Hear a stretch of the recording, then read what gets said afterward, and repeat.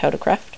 Um, sorry I haven't been uploading too many um, Minecraft uh, episodes because um, my computer had a virus and it keeps freezing and lagging and every time I'm recording it just gets messed up and shit.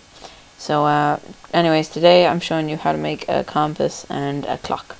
Compass will point to your spawn and a clock will point to your, no, it will say whether it's day or night.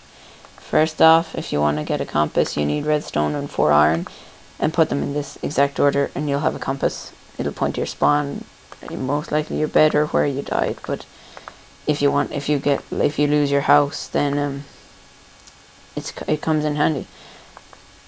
Yeah, so you get gold as well, and you put it the same around for a clock, and then the clock will tell whether it's uh, day or night.